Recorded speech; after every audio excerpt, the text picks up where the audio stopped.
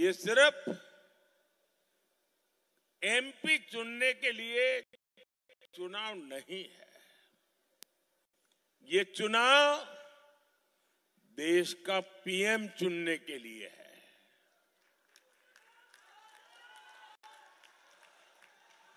अब आपका वोट मामूली नहीं है। अब आपका वोट इतना वजनदार है, इतना ताकतवर है कि आपका वोट देश का पीएम चुनने वाला है। भले आप पाटलिपुत्र में बैठे हो, लेकिन दिल्ली का फैसला आप मेरे भाई बहन करने वाले हो। और भारत को कैसा पीएम चाहिए? भारत को कैसा पीएम चाहिए? भारत को कैसा पीएम चाहिए? भारत को ऐसा पीएम चाहिए जो इस दमदार देश का दम दुनिया के सामने दमखम के साथ रख सके। वहीं दूसरी ओर ये इड्डी वाले हैं। इंडी गठबंधन की योजना पाँच साल में पाँच पीएम देने की है। अब मुझे बताइए भाई, पाँच साल में पाँच पीएम क्या होगा इस देश का?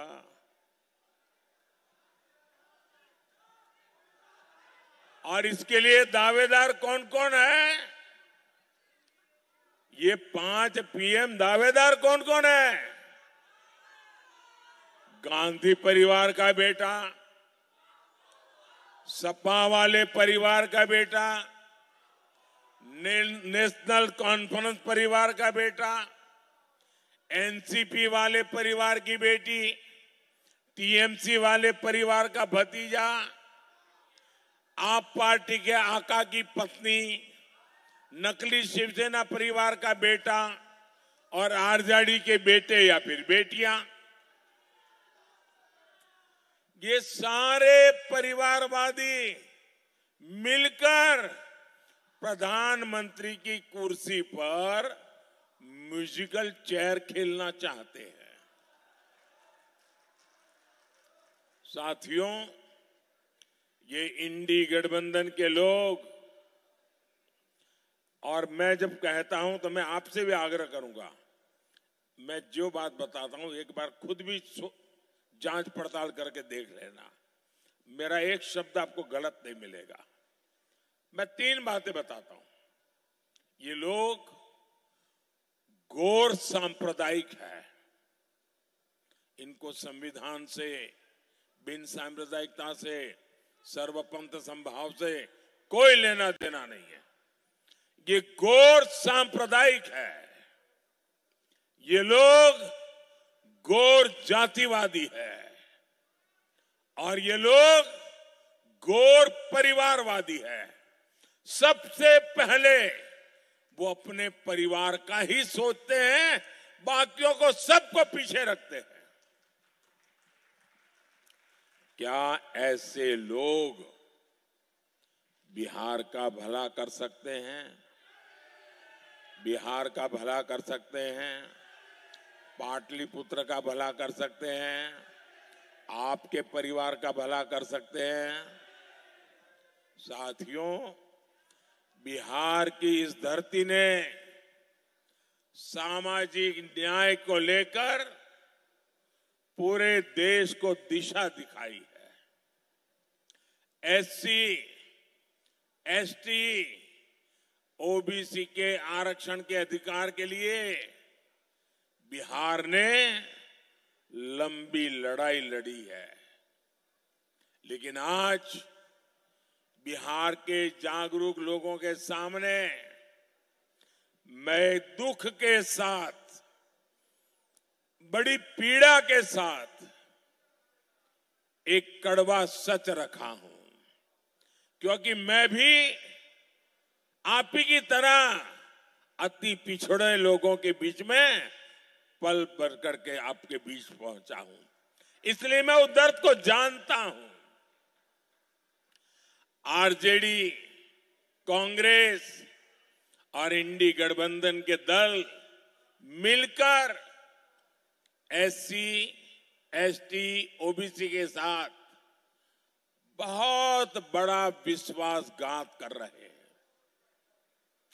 हमारा संविधान कहता है, ब्लैक एंड व्हाइट में है, कोई क्वेश्चन मार्क नहीं है। हमारा संविधान कहता है कि भारत में धर्म के आधार पर आरक्षण नहीं होगा। बाबा साहब आंबेडकर कहते थे कि धर्म के आधार पर आरक्षण नहीं होगा, लेकिन RJD, Congress, SC, ST, OBC का कोटा खत्म करके अपने वोट बैंक को, जो वोट जिहाद करते हैं ऐसे लोगों को धर्म के आधार पर आरक्षण देना चाहती है। 24 के इस चुनाव में जब मैंने इन दलों की इस साजिश का पर्दाफाश किया है तो एक के बाद एक इनकी एससी एसटी, ओबीसी, आरक्षण विरोधी करतूतें सामने आ रही है। मैं बड़ी जिम्मेवारी के साथ आज बिहार के मेरे भाई, मेरे परिवारजनों के सामने ये पीड़ा मैं बताना चाहता हूँ। आरजेडी कांग्रेस ने मिलकर मेरे यादव परिवारों को मेरे कुर्मी परिवारों को मेरे कुशवाहा परिवारों को मेरे कलवार परिवारों को मेरे तेली परिवारों को मेरे सुरी परिवारों को मेरे कानू परिवारों को मेरे निषाद परिवारों को मेरे पासवान परिवारों को मेरे रविदास पसिवाहा परिवारों को मेरे मुसहर परिवारों को ऐसे हरेक का जो आरक्षण था ना उस पर डाका डाल दिया है।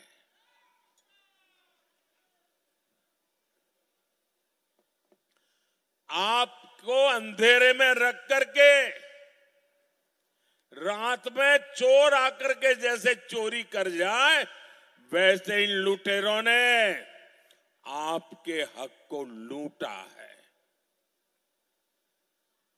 मैं बात कड़वी बता रहा हूँ क्योंकि मेरे जहन पर बड़े गाँव लगे हैं भाइयों।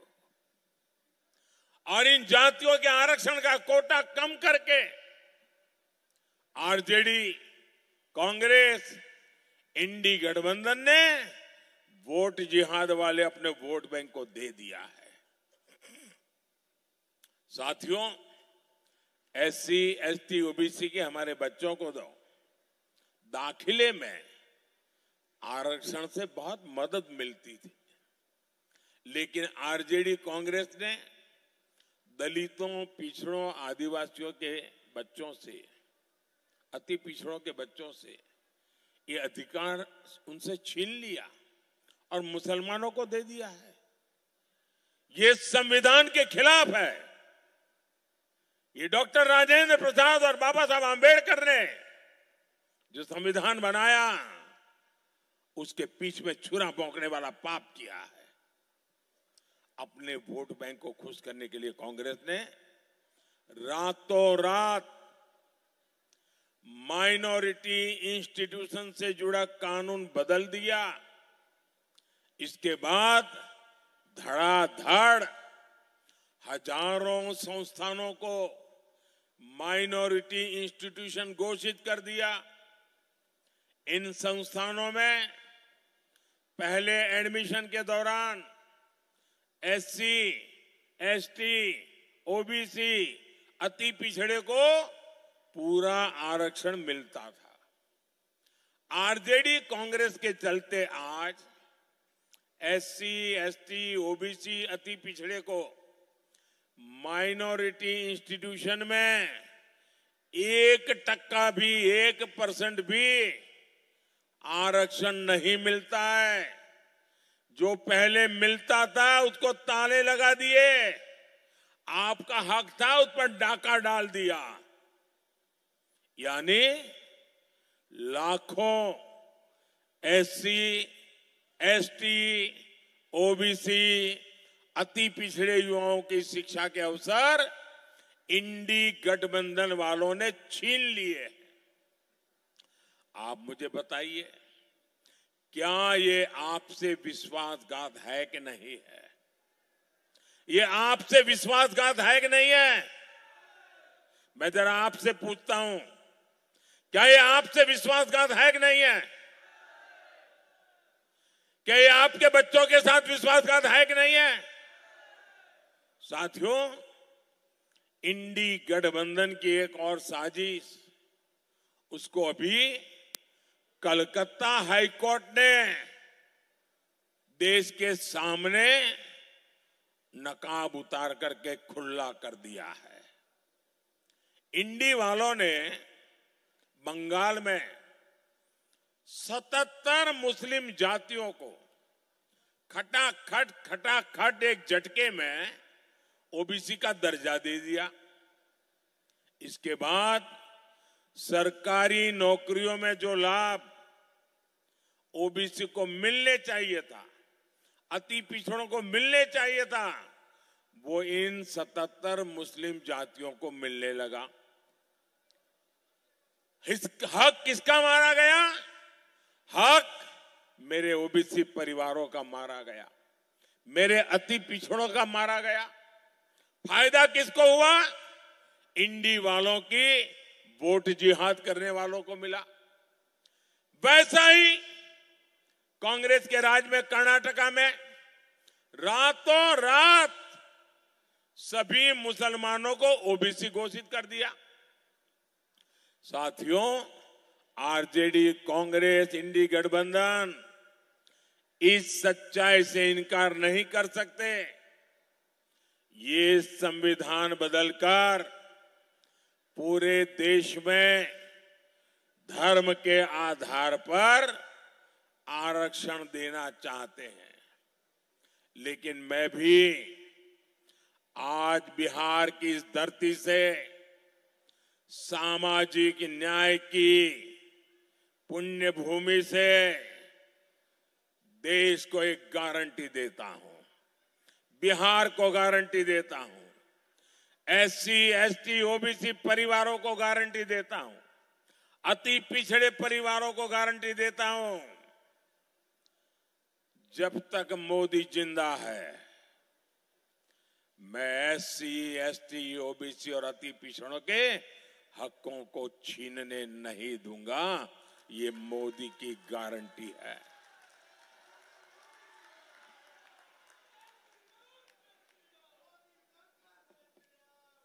मोदी के लिए संविधान सर्वोपरि है। मोदी के लिए बाबा साहब आंबेडकर की भावना सर्वोपरि है। इंडिया अलायंस को अपने वोट बैंक की गुलामी करनी है तो करे। उनको वहाँ जाके मुजरा करना है तो भी करें। मैं एससी एसटी ओबीसी आरक्षण के साथ डट करके खड़ा हूँ, खड़ा रहूँगा, जब तक जान है लड़ता रहूँगा।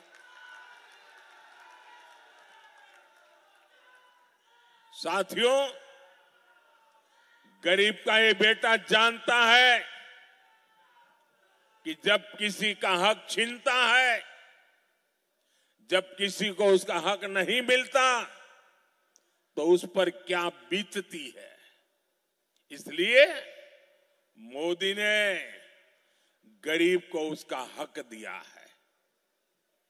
इसका सबसे बड़ा लाभ मेरी माताओं बहनों को हुआ है। और तभी हिंदुस्तान के हर कोने में शायद दुनिया के लोगों का अचरज होता है कि ऐसे हज़ारों लाखों की तादाद में माताएँ बहनें आती हैं, बैठ करके आशीर्वाद देती हैं, अपना घर का काम छोड़ करके आती है। आप याद कीजिए, देश के गोदामों में अनाज सड़ जाता था। लेकिन कांग्रेस सरकार कोर्ट में जाकर, सुप्रीम कोर्ट में जाकर कहती थी कि वो गरीबों को अनाज नहीं दे सकती है और सुप्रीम कोर्ट ऐसे टांग अड़ाना बंद कर दे। यहाँ तक चले गए थे वो लोग। मोदी ने हर जरूरतमंद के लिए अनाज के गोदाम के दरवाजे खोल दिए। आज भी गरीबों को मुफ़्त राशन मिलता है और ये मोदी की गारंटी है। आने वाले पाँच साल भी जिन परिवारों को मुफ़्त राशन मिल रहा है, मिलता रहेगा।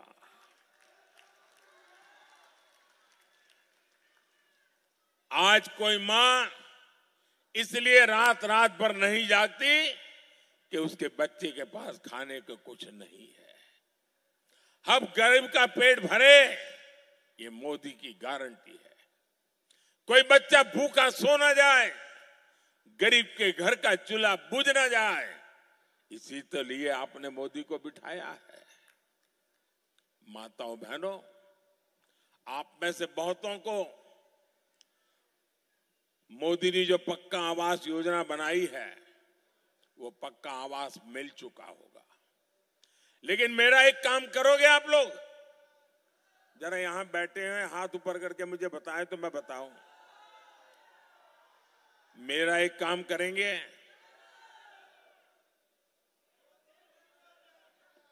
उधर से आवाज़ नहीं आई, मेरा एक काम करेंगे? उधर माताओं बहनों से आवाज़ नहीं आई, मेरा एक काम करेंगे? उधर पीछे से आवाज़ नहीं आई, मेरा एक काम करेंगे? देखिए इन दिनों अगर आप गाँव में जाते हैं अलग अलग बस्तियों में जाते हैं, लोगों से मिलते हैं, और कहीं पर भी आपके नज़र में आए कि कोई झुग्गी झोपड़ी में रहता है, कोई मिट्टी के कच्चे घर में रहता है तो आप उसका नाम पता लिख करके मुझे दे दीजिए। आप उसका नाम पता लिख करके मुझे भेज दीजिए। और उसको कह देना उसको बड़े बिना संकोच कह देना कि चार जून के बाद मोदी की सरकार जब तीसरी बार बनेगी तो तुम्हारे लिए घर भी बनेगा, उसको बता देना। और ये मोदी की गारंटी है, कहना उनको, उस गरीब परिवार को कहना, और मेरे लिए तो आप सभी मोदी है।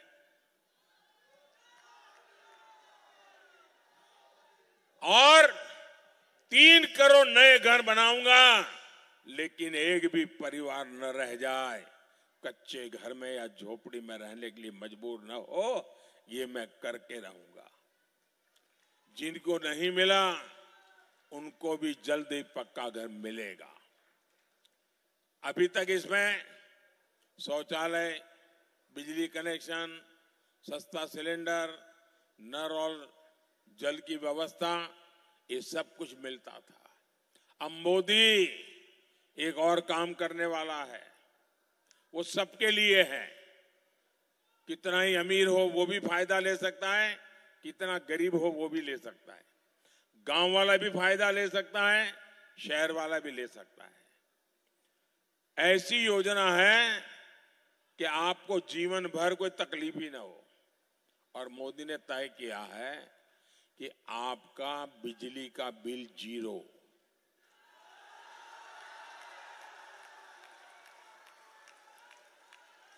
बिजली का बिल ज़ीरो।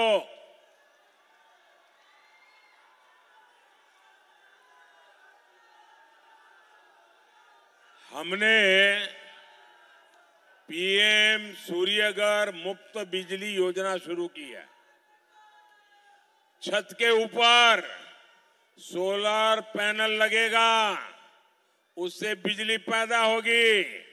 वो बिजली आपकी ज़रूरत के हिसाब से आप मुफ़्त में उपयोग करेंगे और जो अतिरिक्त बिजली होगी ना, वो सरकार खरीदेगी, उसका पैसा देगी आपको।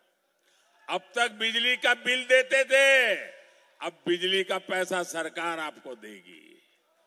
और ये काम करने के लिए आपको लगता होगा ये मोदी बिजली का बिल ज़ीरो तो ले आया। सूर्य सोलर पैनल की बात तो कर रहा है। लगाएगा कौन? उसके लिए भी मोदी हर परिवार को पचहत्तर हज़ार रुपया देगा। और ये ऑनलाइन जाकर के आप अभी से अपनी रजिस्ट्री करवा सकते हो। योजना चालू है, ऐसी गपड़बाजी नहीं है। कि ये होगा तो वो होगा। नहीं, चालू है।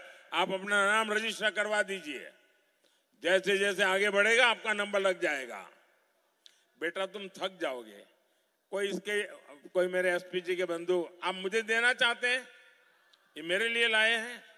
अच्छा मैं ले लेता हूँ भैया। मुझे बड़ी दया आती है, तुम कब से खड़े हो भैया? लेकिन मैं देख रहा हूँ, तुमने बढ़िया बनाया है। तूने तो मोदी भी बनाया है, पार्लियामेंट भी बनाया है। कमल भी बनाया है। सुंदर बनाया है सब। जरा कैमरे वाले भी इन बच्चों की फ़ोटो ले लो। अच्छा पीछे अपना नाम लिखा है बेटा? हाँ? अच्छा अपना नाम लिखना। और मैं आपको ये चिट्ठी ज़रूर लिखूँगा। ये सबसे जो भी है, ले लीजिए भाई। इतने प्यार से बच्चे लेके आए हैं। मेरा सौभाग्य है। सब कलेक्ट कर लीजिए भाई। जो भी लाए हैं, सब ले लीजिए। ले लीजिए। ये बेटी भी कुछ लेके आई है, ले लीजिए इससे। ऐसा लग रहा है बच्चों का इतना प्यार कभी कभी सोचता हूँ कि ये कर्ज मैं कैसे उतारूँगा। मैं सबका आभारी हूँ। साथियों जितनी बिजली चाहिए, मुफ़्त उपयोग करो। और बाकी बची, उसे सरकार को बेचकर कमाई भी कर लो। भाइयों और बहनों, नीतीश जी के नेतृत्व में एनडीए सरकार बिहार को विकास की पटरी पर ले आई है। आने वाले पाँच सालों में हमें बिहार में और तेज विकास करना है। आज उत्तर और दक्षिण बिहार गंगा जी पर बन रहे Digha Sonpur rail road bridge से जुड़ चुका है। एनडीए सरकार की पहचान ऐसे ही विकास के लिए है। आने वाले पाँच साल भारतीय रेल के आधुनिकीकरण के स्वर्णिम साल होने वाले हैं। इसका सीधा फ़ायदा पाटलिपुत्र को होगा, मेरे बिहार को होगा। यहाँ नई इंडस्ट्री आएगी, रोज़गार के नए अवसर आएँगे। और इसलिए मेरे अनन्य साथी, और मैं कहूँगा, कुछ लोगों को राम के नाम से ही झगड़ा है। और इसलिए वो राम कृपालु नाम भी सहन नहीं करेंगे। ऐसे लोग जो है जिनको राम से घोर विरोध है वो राम कृपालु नाम से भी उनके माथे के बाल खड़े हो जाएँगे। ऐसे राम कृपाल बाबू, वो आपके प्रतिनिधि बनकर के दिल्ली भेजिए, मेरे हाथ मज़बूत करेंगे। और इसलिए मैं आपके पास आशीर्वाद मांगने आया हूँ। और कमल पर पड़ा आपका वोट सीधे सीधा मोदी के खाते में जाएगा। तो आप ज़्यादा से ज़्यादा मतदान कराएँगे। ज़्यादा से ज़्यादा मतदान कराएँगे। सभी मतदान हो रहा है। मतदाताओं का अभूतपूर्व उत्साह और उमंग हम लगातार देख रहे हैं। मैं देश के हर मतदाता का अभिनंदन करता हूँ और भारी संख्या में मतदान का आग्रह करता हूँ। साथियों, ये भूमि स्वर्गीय कैलाशपति मिश्र जी की विरासत है। उनकी तपस्या हर बीजेपी कार्यकर्ता के लिए प्रेरणा है। बीजेपी कार्यकर्ताओं की मेहनत का परिणाम आज पूरा देश देख रहा है।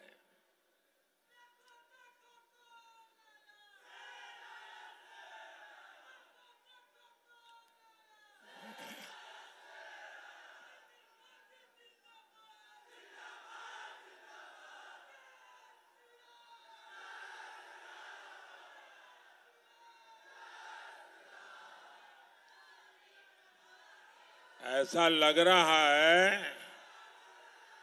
कि आप सब लोग मनेर के लड्डू खा के आए हो।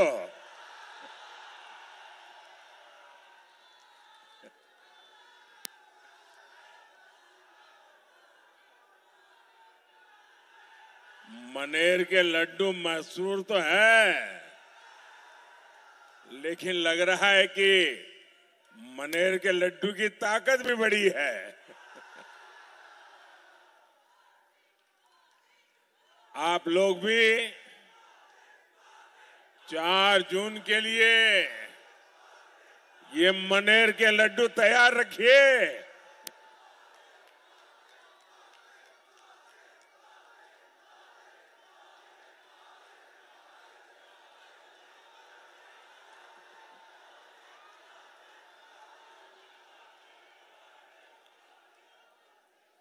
चुनाव के नतीजे क्या आने वाले हैं? उसका एग्जिट पोल चालू हो गया है।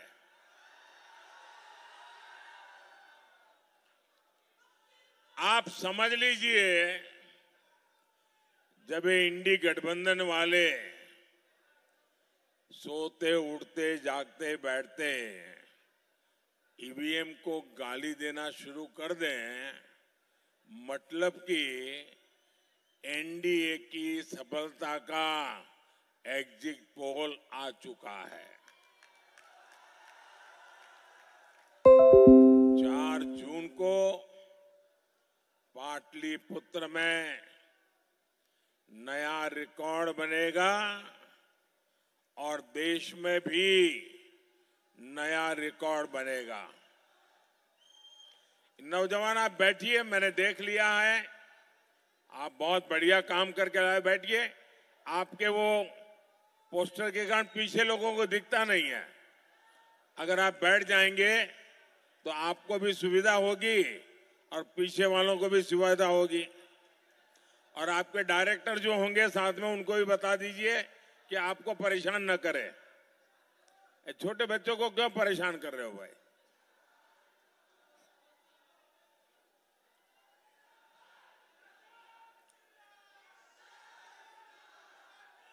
साथियों, मैं हिंदुस्तान के कोने कोने में गया हूँ। जनता जनार्दन के दर्शन करने गया हूँ। देशवासियों के आशीर्वाद लेने गया हूँ। माताओं, बहनों के सामने सर झुकाने के लिए गया हूँ। और चारों तरफ़ से एक ही मंत्र सुनाई देता है। एक ही गुंज सुनाई दे रही है। एक ही विश्वास चारों तरफ़ प्रकट हो रहा है, फिर एक बार, फिर एक बार, फिर एक बार। साथियों 24 के इस चुनाव में एक तरफ़ 24 घंटे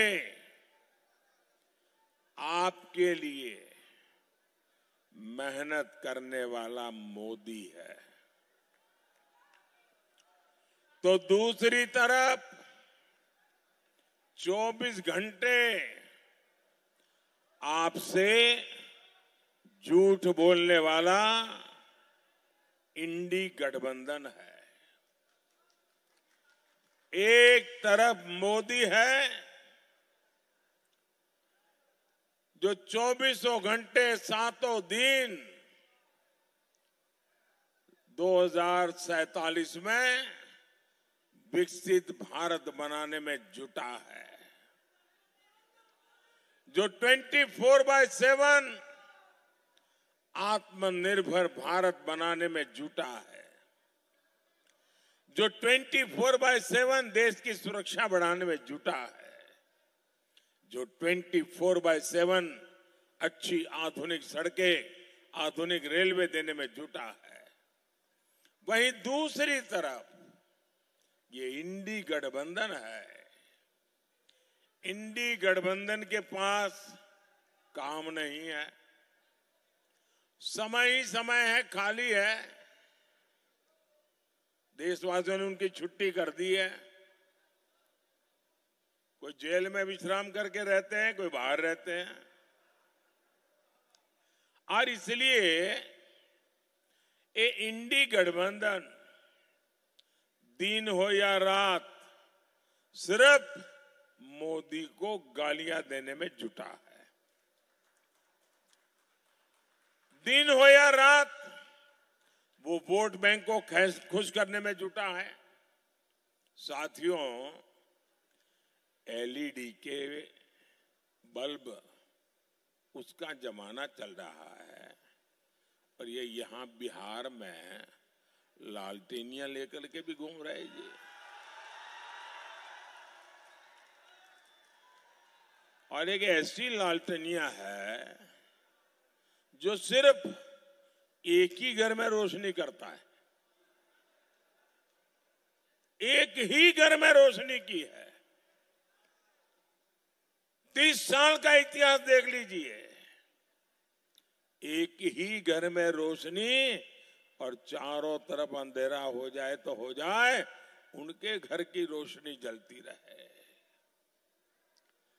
इस लालटेनियों ने बिहार में अंधेरा ही अंधेरा फैलाया है।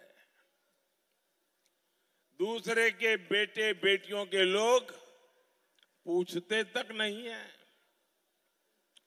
इंडी गठबंधन वालों का सूत्र है, अपना काम बनता, भाड़ में भाई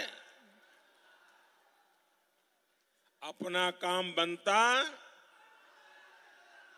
जरा जोरों से बताइए तो सुनाई दिया उनको। अपना काम बनता, ये ऐसे लोग हैं। भाई और बहनों, ये सिर्फ़ एमपी चुनने के लिए चुनाव नहीं है। ये चुनाव